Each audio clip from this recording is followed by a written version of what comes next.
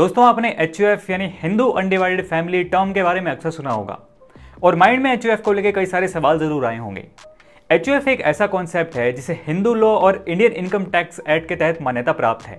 इस वीडियो में हम HUF के कॉन्सेप्ट के बारे में बात करेंगे और जानेंगे कि एच का मतलब क्या होता है, उसके स्ट्रक्चर क्या होता है, एक एच बनता कैसे है, उसे मैनेज कैसे करते हैं, और एक HUF होने के क्या बेनिफिट्स और लिमिटेशन हो सकते हैं।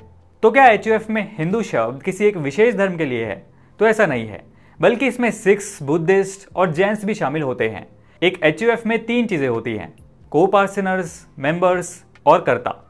एक एचयूएफ के पास अपने नाम पे मूवेबल और इमूवेबल प्रॉपर्टी हो सकती है और खुद का पैन नंबर और बैंक अकाउंट हो सकता है। Coparceners by birth H की प्रॉपर्टी के हिस्सेदार होते हैं, जो कभी भी एच में अपने हिस्से की डिमांड कर सकते हैं। कर्ता को पार्सनर्स में से ही एक मेंबर होता है, जो जनरली को पार्सनर्स में से सबसे एल्डेस्ट मेंबर होता है। वो एच के सभी एसेट्स का ध्यान रखता है। ये एक तरीके से हम कहें, कर्ता एच के एसेट्स को मैनेज करता है। और मेंबर्स एच के मेंबर्स होते हैं, जो एचयूएफ के इनकम का थोड़ा बहुत लाभ ले सकते हैं, लेकिन उसमें हिस्सेदारी डिमांड नहीं कर सकते। को पार्सनर्स और मेंबर्स में मेन डिफरेंस यही होता है कि को पार्सनर्स एच की प्रॉपर्टी के असली हिस्सेदार होते हैं, और वो कभी भी उसकी डिमांड कर सकते हैं। सपोज़ अगर वो ऐसा करते हैं तो एच को तोड़ा जाता है और शेयर के अकॉर्डिंग उसके सेट्स को सभी को पार्सनर्स और जिसके नाम पे एच है, उनकी वाइफ में बांट दिया जाता है। अब एच होल्डर की वाइफ का नाम अलग से किस लिए लिया गया? वो इसलिए क्योंकि उनका एच में उसके टूटने पर हिस्सा तो होता है, लेकिन वो एच के को पार्सनर नहीं होती। यानी उनका एच में हिस्सा है, लेकिन वो उसके लिए को पार्सनर्स की तरह डिमांड नहीं कर सकती। जब एच की प्रॉपर्टी के किसी और को पार्सनर्स की वजह से हिस्से होंगे, तब उन्हें अपना पार्टीशन मिलता है। तो हम ये कह सकते हैं कि HUF होल्डर की वाइफ इकलौती ऐसी मेंबर होती है, जिनका HUF में पार्टीशन शेयर होता है। HUF के स्ट्रक्चर को एग्ज़ाम्पल के साथ समझें तो सपोज़ एक HUF है जिसमें सबसे बड़ा पर्सन है शाम शाम एक मैरिड पर्सन है और उसके तीन बच्चे हैं, दो बेटे और एक बेटी A B and C respectively अब इस HUF में टोटल फोर को पर्सनस होंगे शाम और उसके तीन बच्चे। शाम की वाइफ इस HUF की सिर्फ़ मेंबर कहलाएँगी। यानी वो इस एच की को पर्सनस नहीं मानी जाएँगी। अब इस एच में ऑब्वियसली शाम सबसे बड़ा है तो वो ऑटोमेटिकली एच का कर्ता कहलाता है। अब बात करें इससे नेक्स्ट जनरेशन की तो सपोज़ ए मैरिड है और उसकी वाइफ है। बी की भी वाइफ है और सी भी मैरिड है और उसका भी हस्बैंड है। तो ए की वाइफ बी की वाइफ और सी का हस्बैंड भी एच के मेंबर्स माने जाएँगे। इसके बाद मान लो ए के दो बच्चे हैं, एक लड़का और एक लड़की। बी के तीन बच्चे हैं, एक लड़का और दो लड़की। और सी का भी एक बच्चा है, एक लड़का। अब रूल के अकॉर्डिंग एचयूएफ जिसकी है, उसके लड़कों की अगली पीढ़ी तो उसकी एच की को बनेंगी, लेकिन लड़की की अगली पीढ़ी नहीं। यानी थर्ड जनरेशन में शाम के सिर्फ़ पोते पोती ही उसके एच के को पार्सनर होंगे।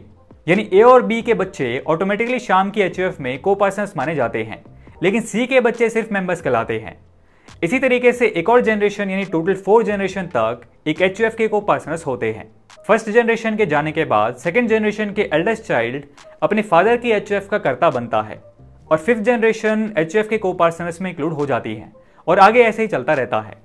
ये तो हो गया एचयूएफ का बेसिक स्ट्रक्चर इससे आपको ये तो समझ आ गया होगा कि एचयूएफ में होता क्या है। आइए अब बात करते हैं कि एचयूएफ बनता कैसे है। आपको ये सुन के हैरानी होगी कि एचयूएफ क्रिएट नहीं की जाती। वो बाय द लॉ अपने आप क्रिएट होती है।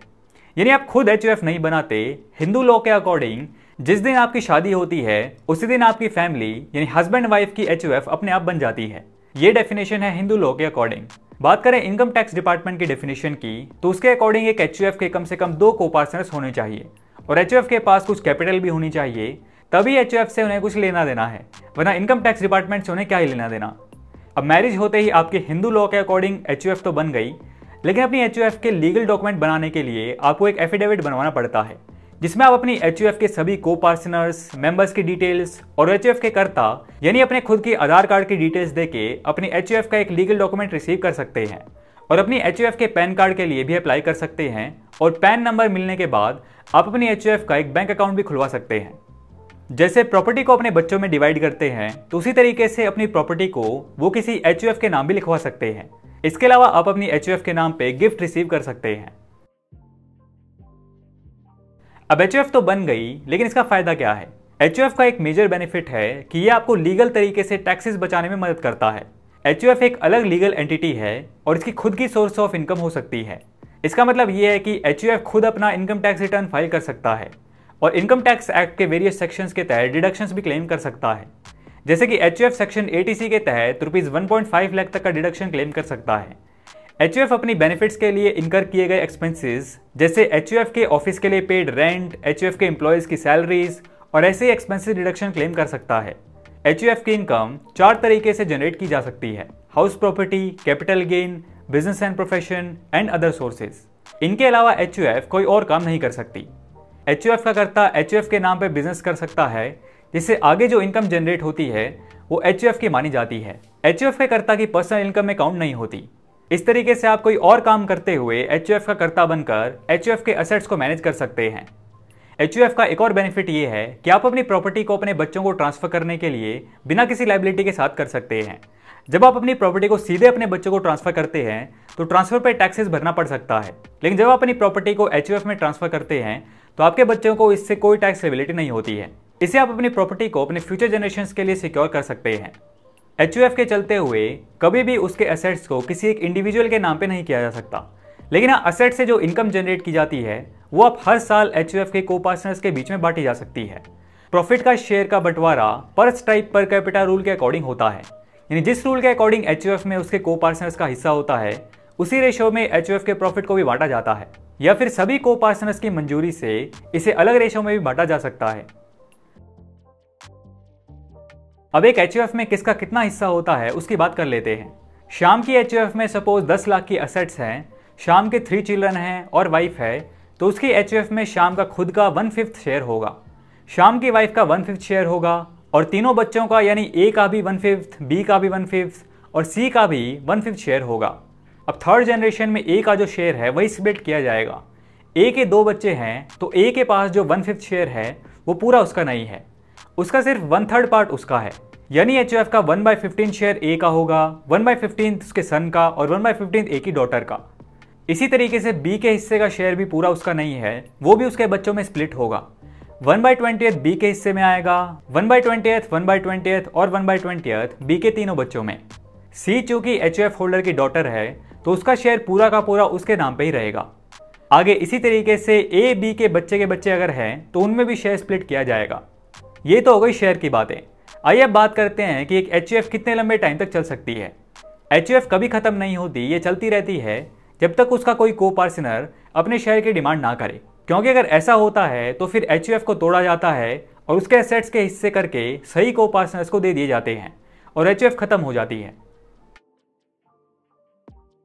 अगर आपने एचयूएफ के नाम पे इमूवेबल प्रॉपर्टी ले रखी है तो उसे आगे बेचना काफ़ी मुश्किल हो जाता है।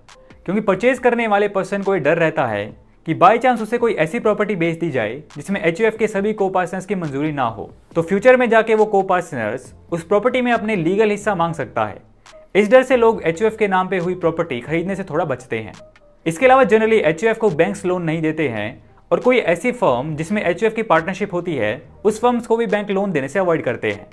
एचयूएफ के सारे मेंबर्स को फाइनेंशियल डिसीज़न के लिए एक दूसरे से मिलकर बातचीत करनी चाहिए। एचयूएफ के मेंबर्स को अपने पर्सनल ट्रांजेक्शन को एचयूएफ अकाउंट से सेपरेट रखना चाहिए। पर्सनल ट्रांजेक्शन को एचयूएफ अकाउंट में ऐड करने से एचयूएफ के फाइनेंशियल रिकॉर्ड्स को सही तरीके से मैनेज करना मुश्किल हो जाता है। इन सब टिप्स को फॉलो करके आप अपने एच को सही तरीके से मैनेज कर सकते हैं और इसके बेनिफिट्स का फ़ायदा उठा सकते हैं। एच एक पावरफुल टूल है, जो आपके फाइनेंशियल प्लानिंग के लिए बहुत यूजफुल हो सकता है। इस वीडियो में हमने एच के कॉन्सेप्ट के बारे में जाना और ये देखा कि एच का बेसिक स्ट्रक्चर क्या होता है, इसे क्रिएट कैसे करते हैं, इसके बेनिफिट्स क्या हैं, और इसको कैसे मैनेज किया जा सकता है।